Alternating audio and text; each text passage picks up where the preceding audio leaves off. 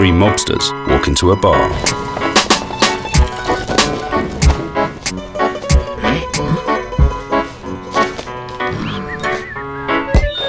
Three Olives vodka, imported from England.